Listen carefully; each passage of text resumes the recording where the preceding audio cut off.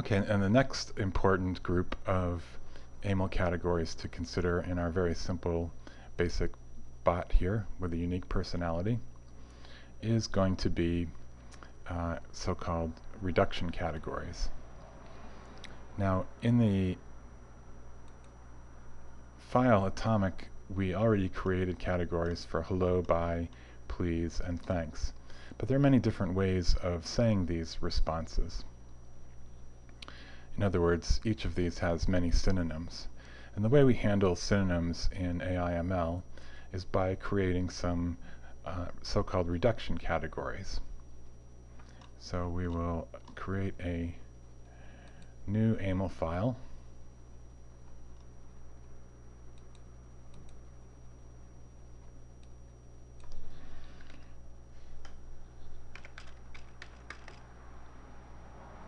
In this file, we're going to consider variations of the ways we have of saying those atomic inputs. So for example, we've got one for hello. There are many ways of saying hello. The client could say hi.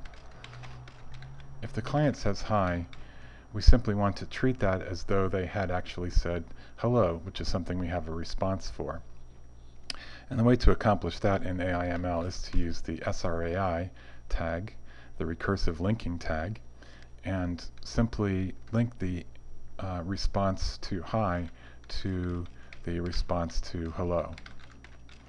In other words, if the client says hi, it's exactly the same as if they had said hello.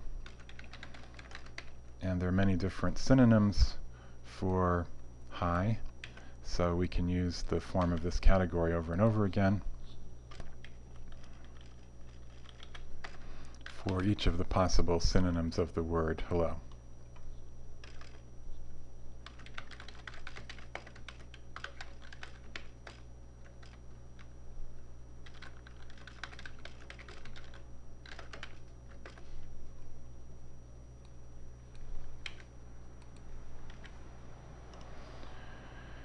And then of course we can do that for all of the other um, atomic inputs we have. For example, we have one for goodbye, or the actually we have the pattern for bye already, so we can add the synonym goodbye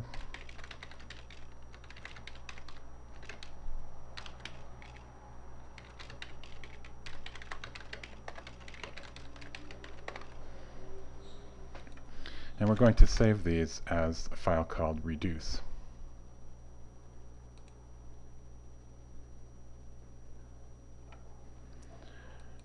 Again, testing our bot with the training interface. We can now say hello or howdy or greetings and get the same response as if we had said hello by itself.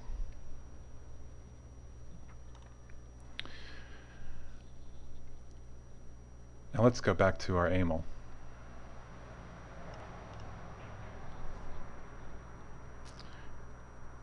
Another group of categories which is important are categories that contain personal or biographical information about the bot.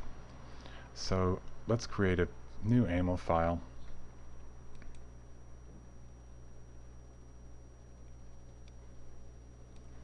where we're going to put some of this biographical information.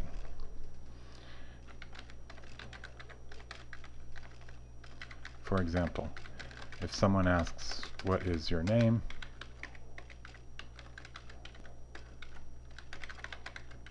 We want the bot to respond with its name.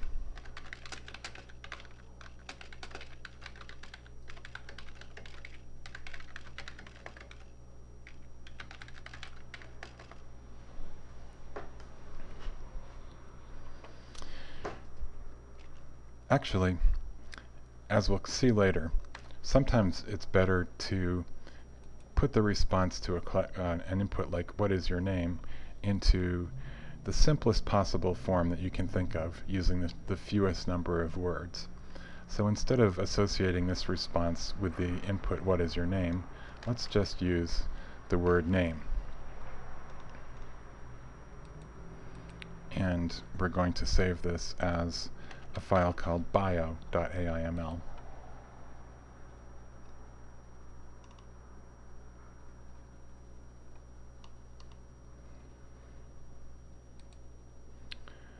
again, using the training section, we can have a conversation with our bot where we ask the bot's name using the input name.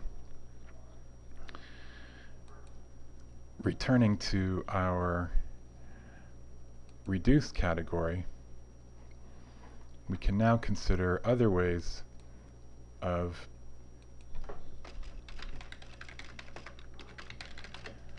asking the bot for its name. For example, we can say, what is your name? And this is going to be symbolically linked to the response name.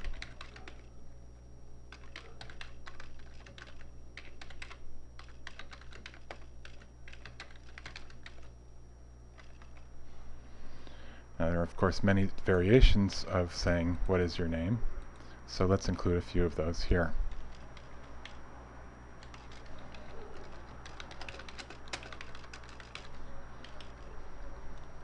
And this is an instance when you can create many AIML categories rapidly with simple cut and paste operations and slight amount of editing.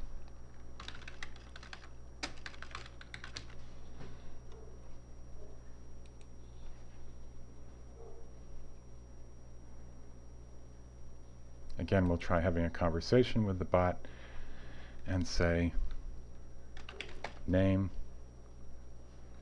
what is your name and identify yourself all of which give the same response. Finally, we have one more group of categories to consider for this bot. And these are so-called uh, rewriting categories, which, which are similar to the reduction categories we've already looked at, but they involve um, the case of having a wildcard in the pattern. So it's sort of a combination of the reduce patterns with the wildcard patterns. Let's take a look at what I mean by that. We'll create a new AIML file. And suppose the input is uh, tell me what your name is. Well, anytime somebody says tell me what x is, or what something is, that that input can always be treated the same as if they had said what is x or what is something.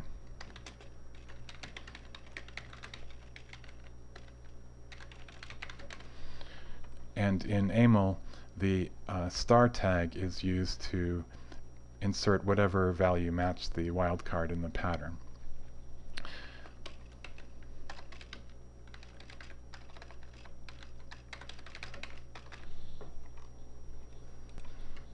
And this is going to be saved in a file called reduce R.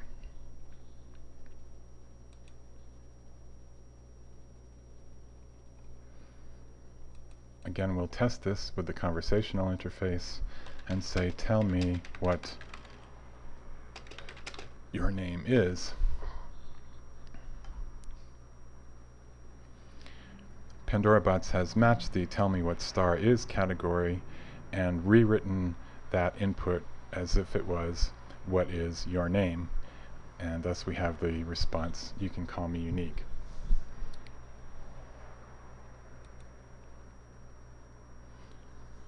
So this concludes our very basic overview of how to create a totally unique Pandora bot from scratch, which has all of its own content, which could be in a foreign language, or it could be a unique personality which is proprietary to you, the bot master.